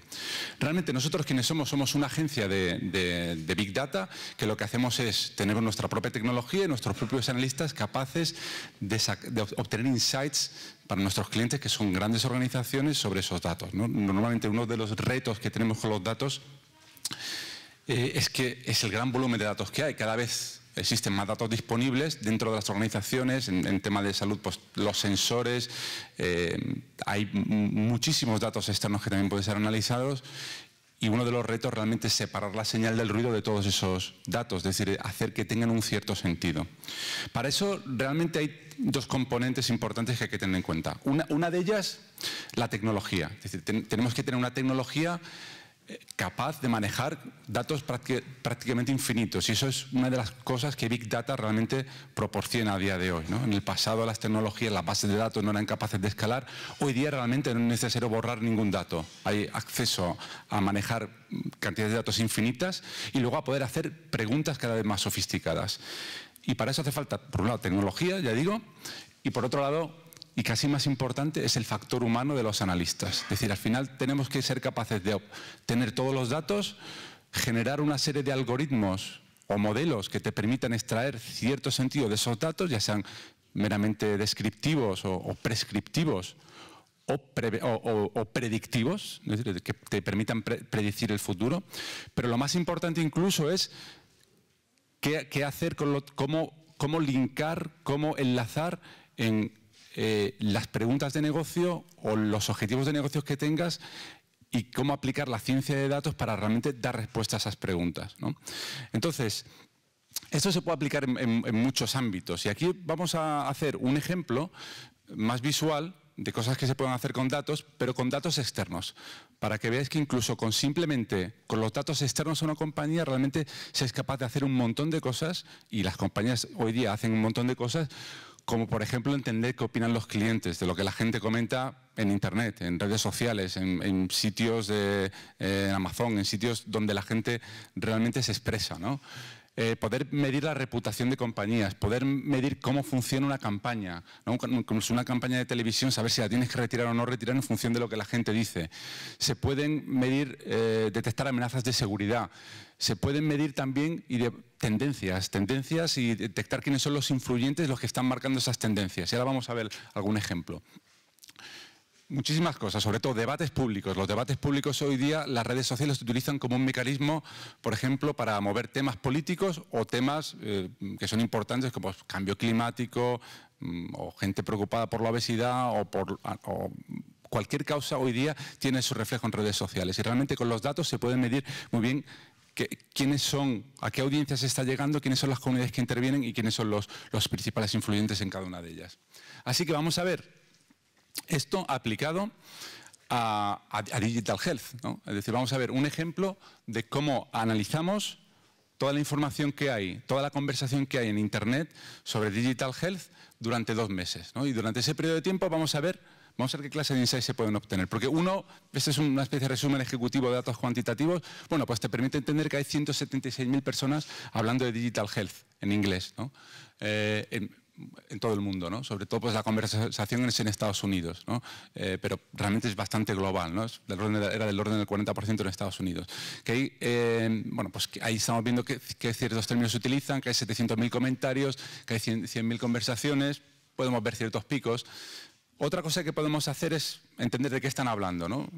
Porque vamos a ver dos tipos de cosas, de qué están hablando y quién está hablando de esas cosas, para ver cómo vamos sofisticándolo un poco más. Una, cosa que vemos es que hablando de, Digital Health, y si mapeamos un poco la forma en que, en que la, Fundación y el, Future Trends eh, Forum visionaba Digital Health, como hemos visto antes, pues realmente la conversación mapea, que sobre todo Big Data es uno de los temas que realmente tienen más, más auge, con 38.000 resultados, todos los estándares de EMR, de, de eh, Medical Records, ¿no? son también uno de los temas más, más álgidos de la conversación, temas de behavioral change, cómo estas tecnologías ayudan a cambiar los hábitos, machine learning, cómo puede ayudar el machine learning realmente a, esos algoritmos de predicción o de hacer nuevas cosas, closed loop, public health y, business. Vamos a, ver cómo llegamos a esa conclusión también, porque esto lo que permite es mapear toda la conversación, aquí estamos mapeando el total de, toda la conversación que ha habido de Digital Health. Y lo que vamos a hacer es poder medir qué términos son los que más se han utilizado. Aquí, aquí lo que estamos midiendo es los términos que se han utilizado son, aparecen como más grandes, los que se han utilizado menos, más pequeños. ¿no? Pero además, como podemos ver qué término se ha usado en conexión con otro término, eso permite clusterizar realmente de qué temas estaban hablando, para no ver los, los términos eh, eh, aislados, sino realmente en conexión con otros. Y eso te permite clusterizar y entender que en, las tendencias que se observan en, Internet de Digital Health, que al final vemos muy marcadas por, por, los expertos, pues obviamente Digital Health aparece en el centro, Healthcare, Health, pero aparecen como cuatro grandes dominios, ¿no? Uno, eh, el relativo a beneficios que tiene la digital health, como aparecen términos como patient engagement, eh, eh, mobile health, ¿no? es decir, términos de, bueno, mm, precision medicine, public health, cosas que, pueden, estar, digamos, dando un, beneficio directo de lo que la gente eh, espera obtener de Digital Health. Otro es el tema de seguridad, y es que el tema de seguridad aparece muy relacionado con Health IT. Health IT es uno de los conceptos que aparece grande, hay toda la industria de Health IT proporcionando IT y todas estas nuevas tecnologías para el mundo de la salud, del healthcare, y cómo pues, el tema de la seguridad, por ejemplo, pues emerge como uno de los más, eh, de, los temas que aparecen en, en, la privacidad de datos, son dos de los temas que aparecen muy importantes. ¿no? Por otro lado, podemos ver toda la parte de tecnología, como en la parte de tecnología realmente muchísimo movimiento, muchísimo movimiento relacionado pues, con nuevos términos como health tech, medtech, eh, las startups son las que son muy activas promoviendo esas disrupciones, esos nuevos cambios, esas nuevas formas de, de aplicar la tecnología en el sector de la salud y cómo pues ahí aparece innovation, funding, todo el, todo el ecosistema de las startups asociado también a medical devices y a, términos como VC o, geografías como India o China que están también muy activas en este dominio. ¿no?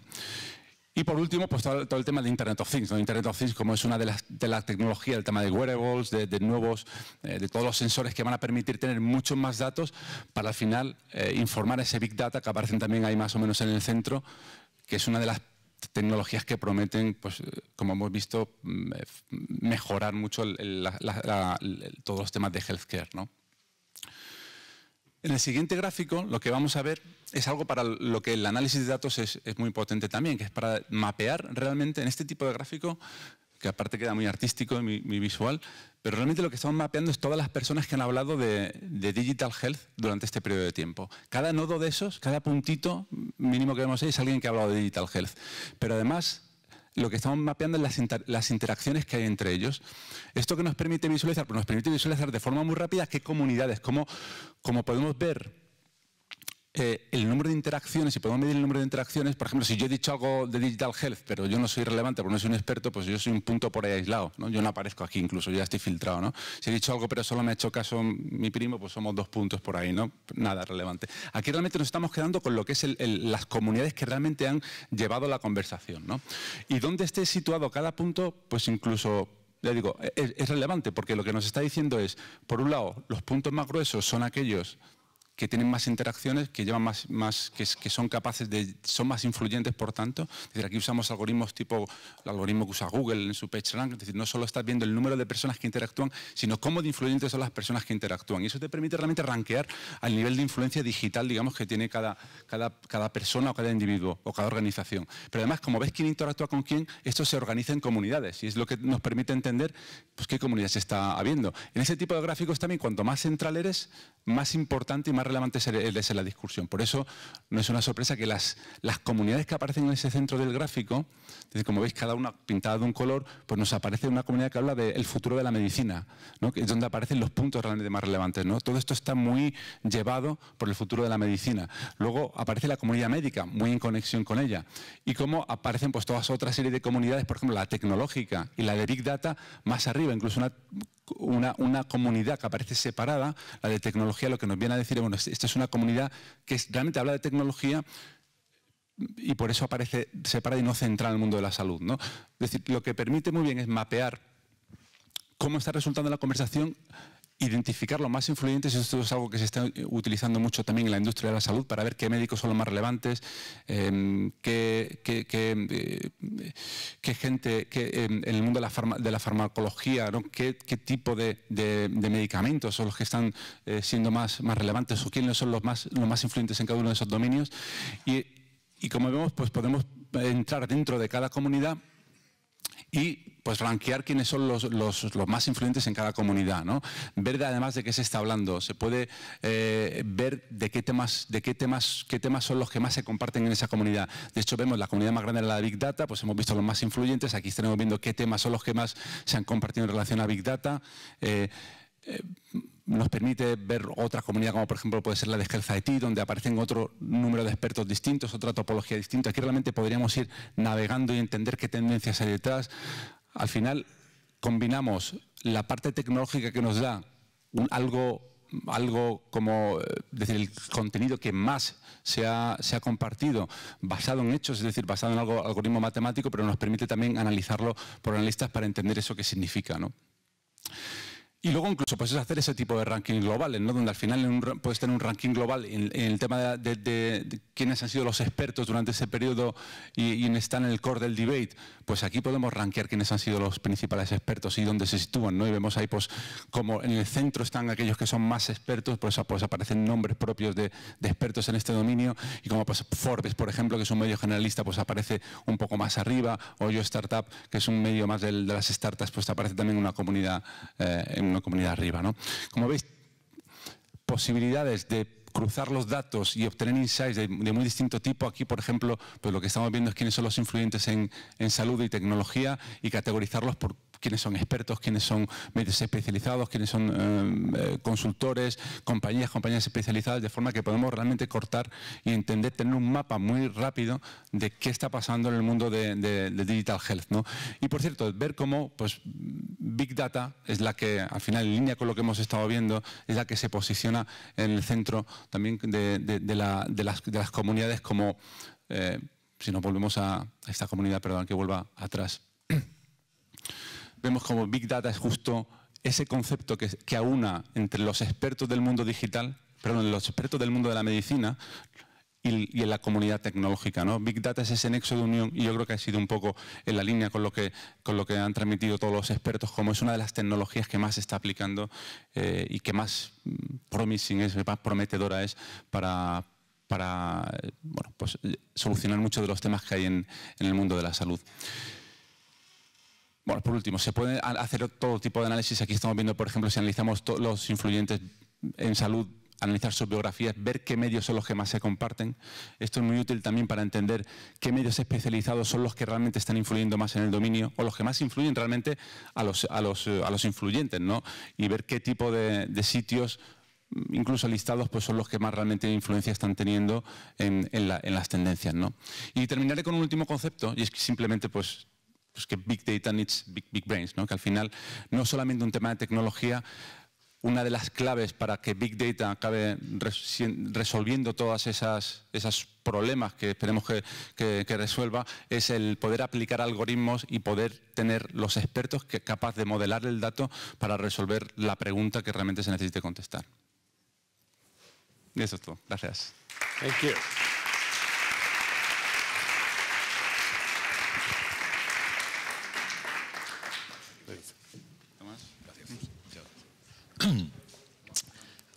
Ah, vale.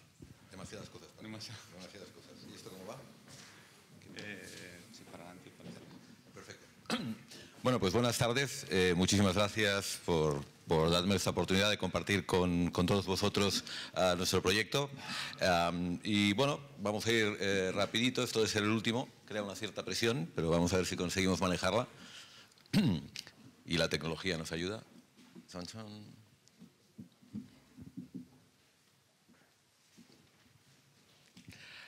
Bueno, mientras la, slide aparece, eh, deciros que he disfrutado mucho escuchando a los diferentes eh, puntos de vista de, cómo- de qué manera eh, lo digital y health va a, o debería ayudarnos a todos a mejorar bueno, pues una problemática tan importante como es la salud. Y deciros que mm, me gusta mucho todo lo que he oído porque al final, al final no, hay muchas más variables, pero al final un tema muy importante es cómo las personas vamos a adoptar todas estas nuevas tecnologías, ¿no? No, basta que estén ahí, pero hay un cambio, tendría que haber un cambio en la conducta de las personas, ese behavior tendrá que ser distinto si realmente queremos que todas esas innovaciones lleguen realmente a, las personas de una forma importante. Ah, bueno, veréis que nuestro posicionamiento aquí es alrededor de un, de un nuevo tipo de personaje que, bueno, pues eh, denominamos como el e-patient y eh, considerando el e-patient como ah, esa persona que eh, a base de conocer a su enfermedad, a base de informarse, a base de llevar un control, eh, al final toma, se involucra en el tratamiento de su enfermedad. Entendemos que ese e-patient pues es un agente importante y que de alguna forma tendrá que conducir, o como mínimo que adoptar y conducir todos estos cambios de los que estamos hablando. Ah, la E no es de tecnología, está claro, no, no, me sigue, ¿no? No pasa nada, no te preocupes. Bien, eh, bueno, po- podemos ir con ellos.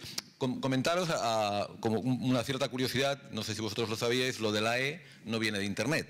Hay un señor que se llamaba Tom Ferguson, un doctor, que eh, más o menos en los años 70 ya de alguna forma creó este concepto, y era porque las personas que, eh, que estaban de alguna manera informándose, cogiendo el liderazgo de su enfermedad, cumplían con cuatro adjetivos que en inglés empiezan por E. Nunca me acuerdo, pero más o menos era empower, engage, enable, y el cuarto siempre se me olvida. Pero en definitiva, de ahí sale el concepto de e-patient. En definitiva, era una persona que a base de informarse, a base de tener un, un determinado criterio, pues podía realmente involucrarse. Ah, pim, pim, por ahí está. Vale. Bien, de ahí que nosotros consideramos que en este futuro del eHealth, eh, el e-patient pasa a ser un personaje relevante y como mínimo un personaje clave para que esto pueda ser. ¿Lo podemos centrar? ¿Le doy? Bueno, se queda ahí en un ladito, pero... Ah, bien, muchísimas gracias. Vale, bueno, como os decía, en definitiva la E eh, no, no tiene nada que ver con Internet, tampoco es cierto. Realmente con la explosión de, o con la llegada de Internet, el acceso a la información, que es una de las claves para que las personas puedan informarse y por tanto manejar su enfermedad, eh, cogió una dimensión totalmente diferente. Esa es la cuarta palabreja que me faltaba, aquí la tenéis. Vale, Ah, bueno, muy rápidamente, ¿qué es People Who? People Who es una plataforma orientada a ayudar a las personas, a los pacientes, a convertirse en e-patients, desde ese punto de concepto. Eh, intentar que al- alguien hablaba hace un poquito del el, el aspecto pasivo del paciente durante muchos años. La intención, de alguna manera, es que si ese paciente empieza a involucrarse, empieza a dominar su enfermedad, sin ninguna duda mejorará su calidad de vida y sin ninguna duda, y esto es muy importante y, me gustaría incorporarlo, sin ninguna duda ayudará también a la sostenibilidad del sistema de salud. Um, si tenemos tiempo, me gustaría comentaros un poquito. Ah, decía Sergio que, que People Who están ya en, cin- en cinco países en estado, en Europa, pero también está en Estados Unidos desde hace unos cuantos meses y la verdad es que el, el fenómeno, eh, para los que venimos de Europa, de la salud en Estados Unidos es de locura, es insostenible. Realmente el sistema está intentando pasar de sistemas, como comentabais también, también fee for service a, unos, a, a sistemas más de added value, porque habrá que controlar ese dispendio importante. Entendemos que aquí el, el e-patient es un personaje clave por esa formación que tiene. Ah, People Who lo que hace es ofrecer a las personas que, conviven con una enfermedad todo aquello que el mundo digital puede ofrecerles para convertirlos poco a poco en ese e-patient. Si podemos darle al botoncito, en un minuto me gustaría enseñaros cómo es un, eh, un e-patient perfecto, qué hace en su día a día, no de ser un señor muy extraño.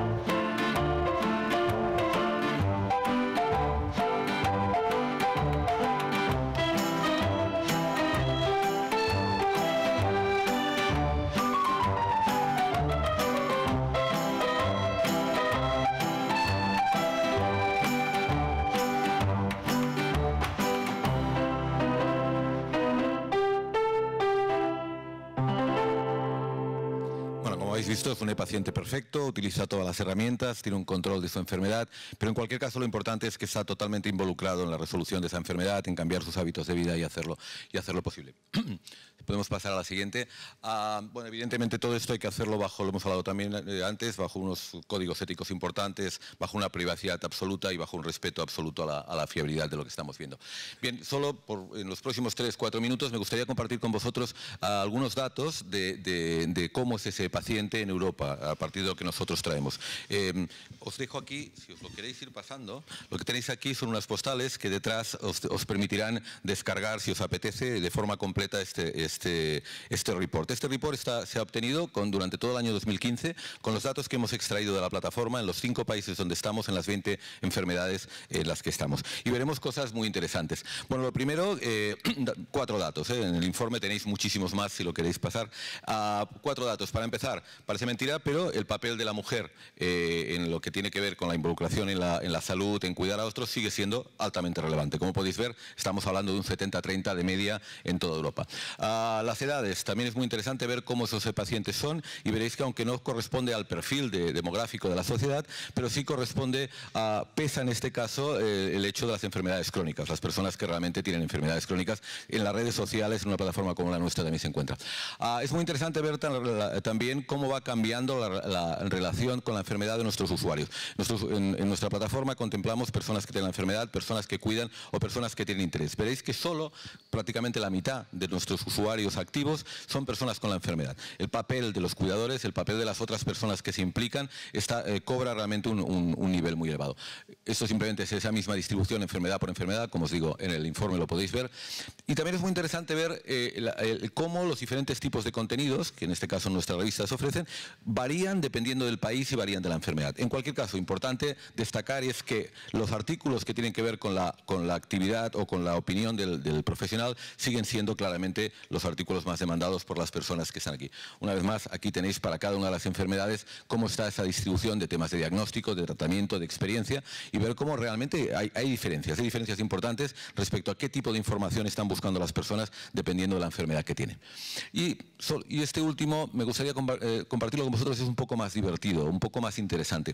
Eh, nuestra visión es ¿Qué pasa con el paciente fuera de la consulta? Los datos, el famoso Big Data y demás, ah, normalmente vienen a través del mundo médico, sea los hospitales, sean los médicos, pero ¿qué pasa con el 99,99% de un enfermo crónico que no está frente al médico? Porque al final un enfermo crónico va al médico seis veces, está 10 minutos y ¿qué pasa con el resto de su vida?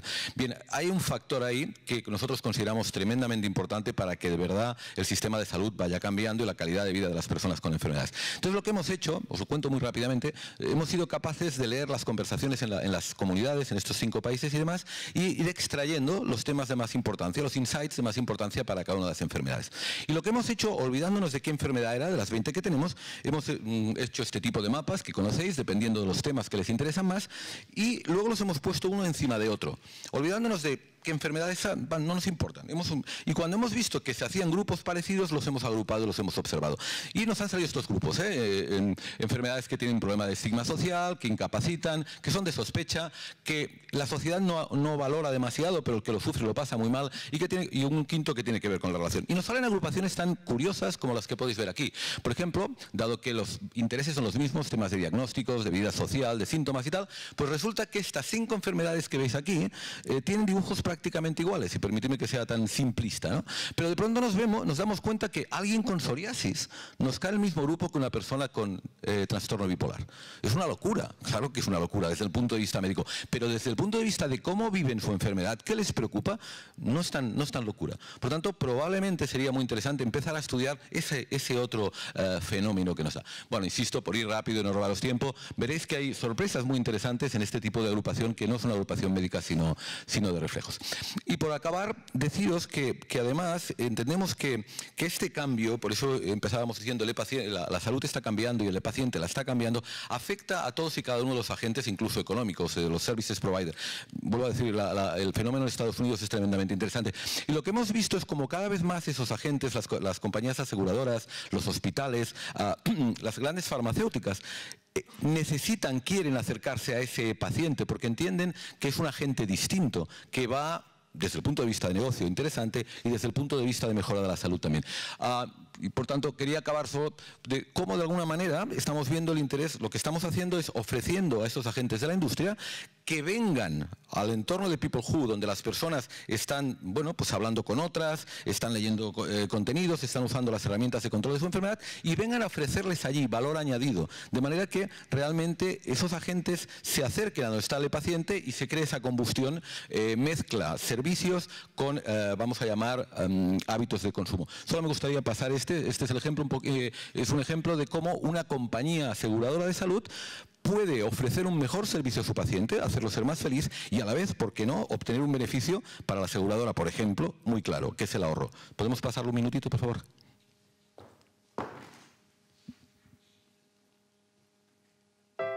Maggie has health insurance. One day, her insurance company decided to embrace the future of health by turning Maggie and the rest of their patients into e-patients. How did they do it? Through integration with People Who, an online platform created to assist e-patients in their daily lives. How does it work? In the community, the insurance company's professional team interacts with patients. This reduces the number of medical appointments. In Control, patients input daily information related to their illness and can print out reports to show their doctors. This way, doctors' appointments are quicker and more efficient. Through the magazine, patients stay informed. They can learn more about their illness and have more control over its progression. In the long run, this means fewer hospitalizations. Furthermore, the insurance company receives statistical data that helps them learn to know their patients better and offer them improved services. Now, Maggie is happier with her insurance company and enjoys a better quality of life, while the healthcare system saves at the same time. Help shape the future of health by joining with People Who, the online platform for patients. Anonymous, trustworthy, ethical. Bien, solo quería compartir con vosotros estos datos sobre el, sobre el paciente y, y espero que, que, también el informe, si os lo queréis descargar, pues lo que encontréis ahí pueda ser de vuestro interés. Gracias.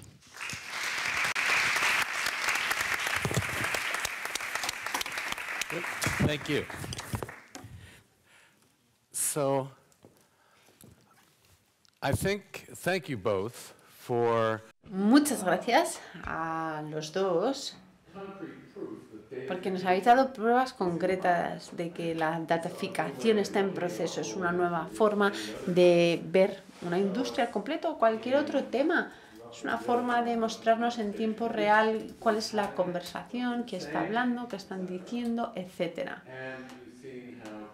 Y hemos visto cómo compartir, hablar, sensores, todo esto puede hacer que la industria se reúna en torno a distintos modelos de negocio. Estos son dos fases de este proceso de eh, dataficación en el mundo de la salud y probablemente hay miles de estos por todo el mundo. Las tendencias de las que ha hablado Gotham van a transformar la industria pues en algo parecido a la visión que nos ha, que ha compartido con nosotros Russell.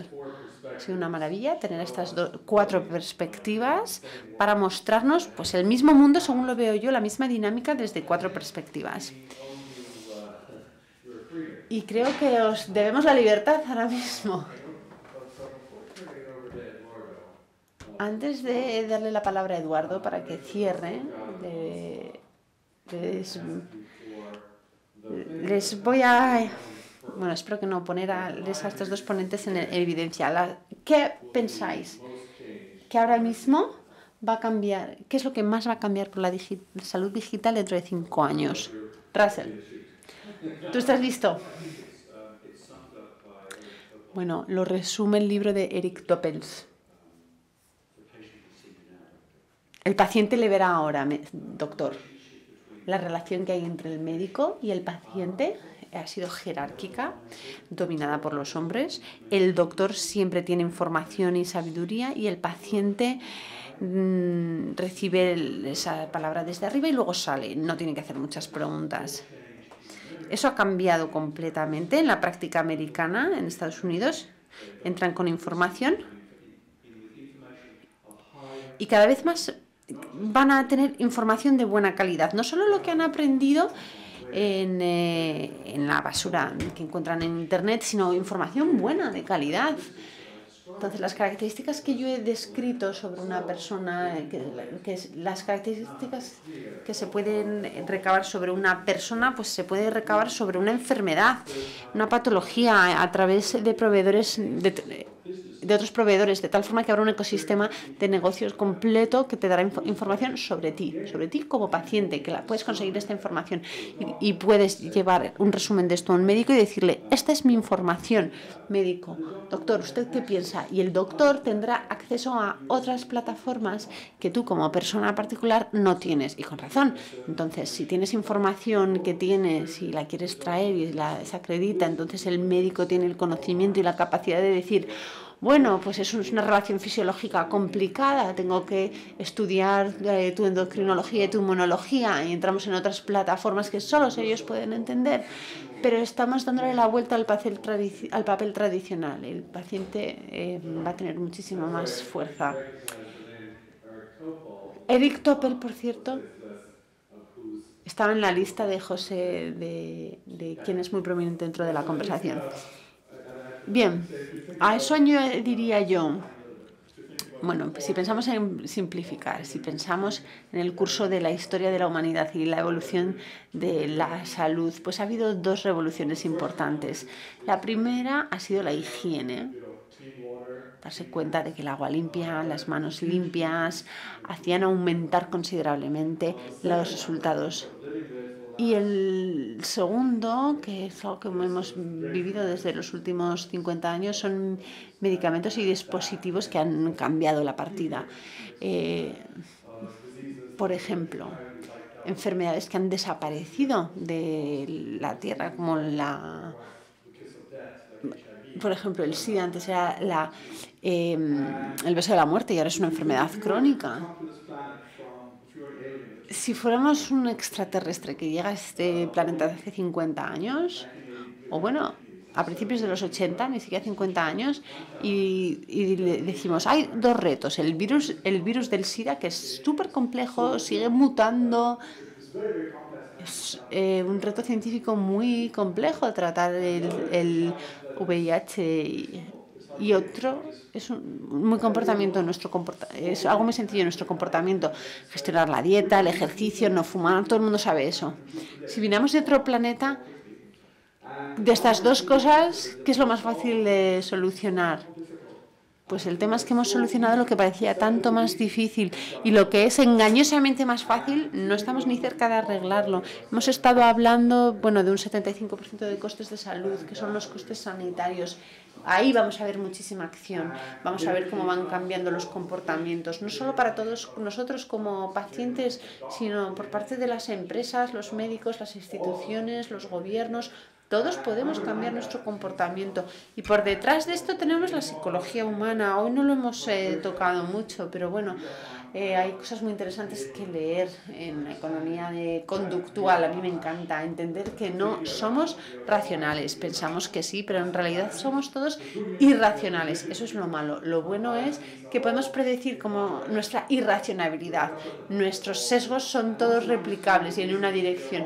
Y una vez entendemos como todos como personas somos irracionales, entendemos que no estamos haciendo las cosas que son mejores para nosotros y como entonces podemos generar un incentivo para corregirlo, asumiendo que, bueno, pues si castigas a la gente por hacer, no hacer algo o les recompensas por hacer esta otra cosa, bueno, sabemos que no es tan sencillo como esto. Hemos visto varios gobiernos, por ejemplo, Reino Unido, pero hemos visto otros que han hecho lo mismo y hemos visto también empresas que están haciendo cosas, empresas de seguros, por ejemplo, y vamos a ver mucho más de esto porque es lo que, lo que nos toca. Y de aquí a cinco años espero que esto sea uno de los grandes focos del sistema de salud. Muy, muy buenos comentarios. Muchas gracias a los cuatro y de verdad muchas gracias por venir aquí esta noche a todos y ahora le voy a pasar la palabra a Eduardo que nos va a invitar a tomar algo. A no ser que tu avatar te diga que no puedes beber nada. Me toca cerrar este evento hoy. Me llamo Eduardo Zaita, soy director general de Bankinter y lo único que quiero decir es gracias. Gracias a Chris, como siempre, por ayudarnos a compartir el conocimiento con los, todos los clientes de Bankinter que están aquí hoy, todos, nuestros amigos dentro de Bankinter. Muchas gracias a los ponentes de hoy que son expertos en salud, en digitalización y gracias a los dos emprendedores, oye, dos empresas españolas maravillosas. Hace tres años empezamos a trabajar con, con ellos y tenemos emprendedores internacionales pero al cabo de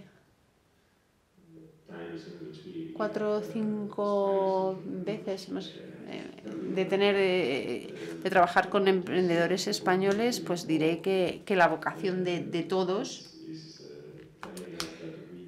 nos dice que necesitamos más emprendedores españoles, así que eh, ya en un futuro solo vamos a invitar a emprendedores españoles porque tienen un nivel altísimo. Dos cosas más. Y la última, bueno, es que tenemos un cóctel y a lo largo del cóctel pueden compartir con los expertos de hoy sus ideas, comentarios, hacer alguna pregunta que se les haya quedado en el tintero. Y lo más importante que todavía no he dicho, ¿Por qué participa Bankinter en estas tecnologías? Porque la innovación y la tecnología están en nuestro ADN y porque en el futuro, con los avatares digitales, vamos a necesitar un banco, un banco que, que te dé un préstamo para dar apoyo a todas tus necesidades. Nosotros queremos ser este banco. Y por supuesto, nos encanta la innovación y conforme venía yo aquí hoy, y aprendía de la experiencia de nuestros ponentes, pues he mirado mi smartwatch y mm, bueno, he visto que han dado más de 7.000 pasos y mi eh, tensión está en el 67. Así que muchas gracias una vez más. Y nada más, que estamos aquí, estarán nuestros eh, invitados y, ahora tenemos un cóctel. Gracias por venir. ¿eh?